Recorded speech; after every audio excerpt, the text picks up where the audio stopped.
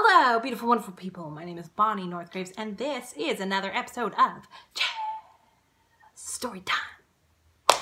Today I'm going to be talking about a tune from 1925 written by Irving Berlin. This is the beautiful song, Always. So, let's jump into it. Bum, ba, ba, ba, ba, piano came.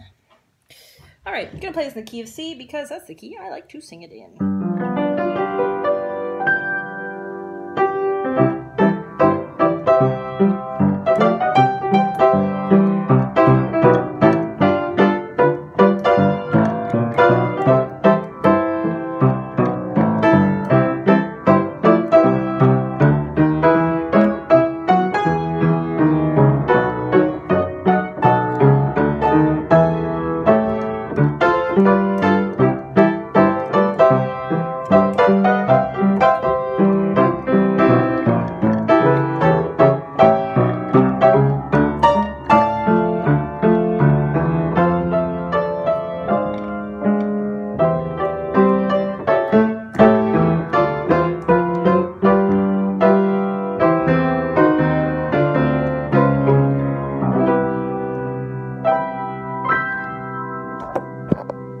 Alrighty, there is the tune. So this song was written for Irving Berlin's wife. So he wrote this in 1925 and he married his wife in 1926.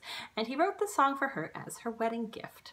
Now, um, one of the cool things about this was that he didn't just write the song for her, he also gifted her all of the royalties and future royalties from the song. So she earned her income or earned an income from the royalties of the song every time it was recorded.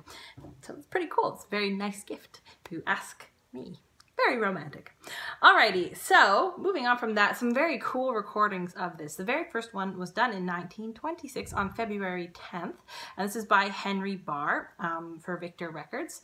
Um, Frank Sinatra records this in 1947. It's a beautiful recording.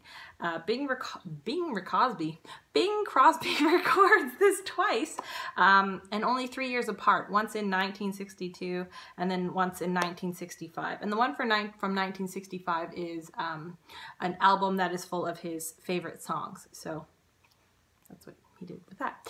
Uh, Patsy Cline recorded this in 1963. Peggy Lee recorded this in 1974. And Diana Ross and the Supremes did a tribute to Irving Berlin and recorded this live on the Ed Sullivan Show. So that's kind of a cool thing. So, on that note, I'm going to sing it out. Not like Diana Ross, like Bonnie. Okay.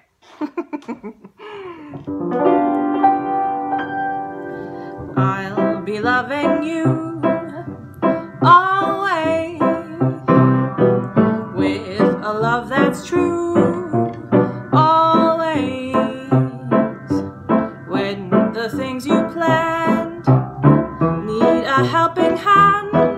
I will understand always always.